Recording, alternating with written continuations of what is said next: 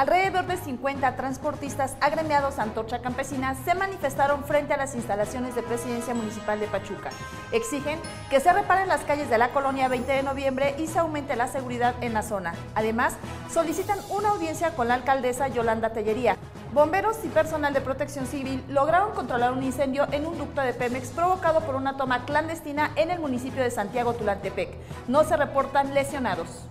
El pasado domingo se llevó a cabo en Huejutla el segundo debate organizado por el Instituto Nacional Electoral entre los cuatro candidatos a senadores por Hidalgo.